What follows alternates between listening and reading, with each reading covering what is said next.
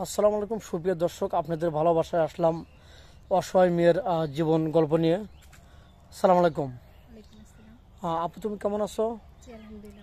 হ্যাঁ তোমার নামটা কি আরেকবার জানতে পারি? লাবণ্য। তোমার হোম ডিস্ট্রিক্ট যেন কোথায়?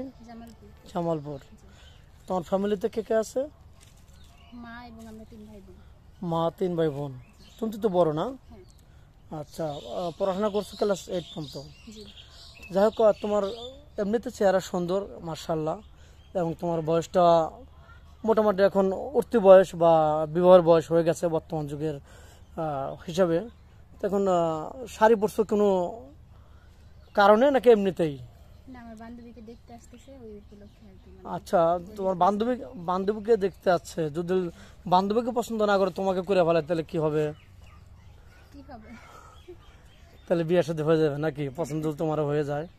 তো যাই হোক তোমার কোন কোয়ালিটির ছেলে পছন্দ? খুব স্মার্ট লাগবে খুব সুন্দর লাগবে। না খুব সুন্দর লাগবে না খুব স্মার্টও লাগবে না কিন্তু খুব ভালো মনের একটা মানুষ হতে হবে।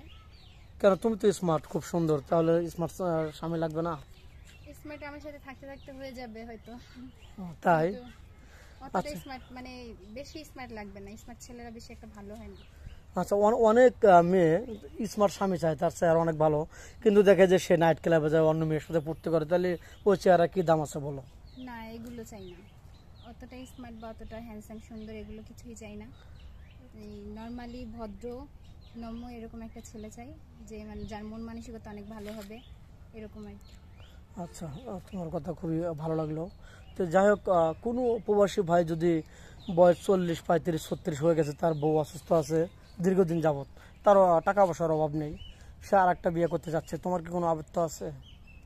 আমার আপত্তি নাই। মানে তার বউ যদি চায় যে পারমিশন দেয় যে হ্যাঁ তুমি বিয়ে করো বা- পরবর্তীতে কোনো ঝামেলা হবে না তাহলে আমি রাজি আছি। আচ্ছা তুমি বুঝাতে চাচ্ছ যে তুমি মেয়ে হয়ে আর একটা মেয়ের ভাঙতে চাও না। কিন্তু যদি অনুমতি বা সম্মতি থাকে তাহলে আমি হাসি মুখে মেনে নেব। তো যাই হোক তোমাকে কোনো প্রবাসী ভাই বিয়ে করে বাংলাদেশে রেখে গেল তার বাড়িতে রেখে গেল প্রতি মাসে টাকা পয়সা দিল তোমাকে চালালো। তুমি কি শ্বশুরের সাথে দুর্বলতার সুযোগ নিয়ে খারাপ ব্যবহার করবে? না অবশ্যই না। যেমন তুমি দেখছ স্বামী তো আমার বাইরে আছে আমি তাদের সাথে খারাপ ব্যবহার করলে আর কি সে তো দেখবে না আসবে পাঁচ বছর তিন বছর পরে। এরকম দেখবে তো? হ্যাঁ এখন তো অসহায় খুবই সুন্দর করে কথা বলতেছো তখন তো ওর রূপটা চেঞ্জ করবে? চেঞ্জ করবে না। আমরা আশা করব ইনশাল্লাহ ওরকম হবে না।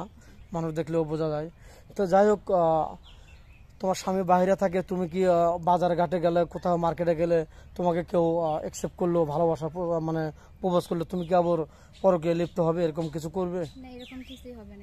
কিন্তু বর্তমান যুগে তো এরকম প্রচলিত হয়ে যাচ্ছে। শুধু পরকিয়া আর পরকিয়া। আসল কথা হচ্ছে যাদের রুচি মন মানসিকতা নোংরা তারা এগুলাতে জড়িত হয়।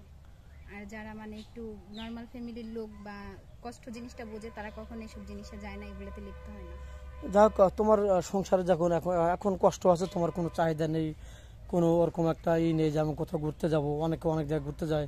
তোমাকে বিয়ে করে তোমার স্বামী জুল বলে তোমাকে প্রশ্ন করে যে তুমি কোথায় ঘুরতে যাবে তাহলে তোমার কি এরকম জায়গা আছে যে স্বামীকে নিয়ে ঘুরতে যাবা? না হাজবেন্ড যেখানে যাবে সেখানে। তোমার স্বামী যেখানে নিয়ে যাবে ওখানে ঘুরতে যাবে নাকি? তোমার কোনো চাহিদা নেই? এরকম। আচ্ছা বুঝতে পারলাম। তো যাই হোক তোমার লোক অনেক সুন্দর আছে। তুমি কি জীবনে প্রেম ভালোবাসা করছ? সত্যি কথা বলবা। অনেকে মানে সবার জীবনে প্রেম ভালোবাসা আছে। তোমার জীবনে কাটছিল না করি নাই বাট একজন লাইক করতো পছন্দ করতো। আমি করি নাই। কারণ? এখনকার রিলেশন তো মানে বেশি দিন টিকে না। আজকে আসে হয়তো কালকে নেই আর সবই হচ্ছে ফেক তো আমি চাই না কোনো রিলেশনে ঢুকতে আমি চাই ডাইরেক্টলি ভালো মনে যদি একটা মানুষ পাই তাহলে বিয়ে করে নেব। খুব সুন্দর কথা বলছো কথাটা আমার খুব ভালো লাগল। তো যাই হোক ভিডিওটা অনেক লং হচ্ছে আর বাড়াতে চাচ্ছি না। তোমাকে কীভাবে পাবে বলো তো? আমাকে পাইতে হলে আপনাদের এখানে যোগাযোগ করতে হবে আপনাদের সাথে যোগাযোগ করলে আমাকে পাবো। মেয়েটার কোনো ফোন নেই ওর চলাই খুবই দুষ্কর খুব কঠিন। সংসারে বর্তমান খুব অনটন অসহায় আছে। তো যাই হোক স্ক্রিপ্টটা বাড়াতে চাচ্ছে না। আমাদের নাম্বার দেওয়া থাকবে। কেউ ভিডিও কল দেবেন না। দয়া করে কেউ ভিডিও কল দেবেন না অডিও কল দেবেন। ভিডিও কল দিলে ব্লক করতে বাধ্য হব। সুস্থ থাকবেন, ভালো থাকবেন। এই বলে শেষ করছি। আল্লাহ হাফেজ। পাঁচ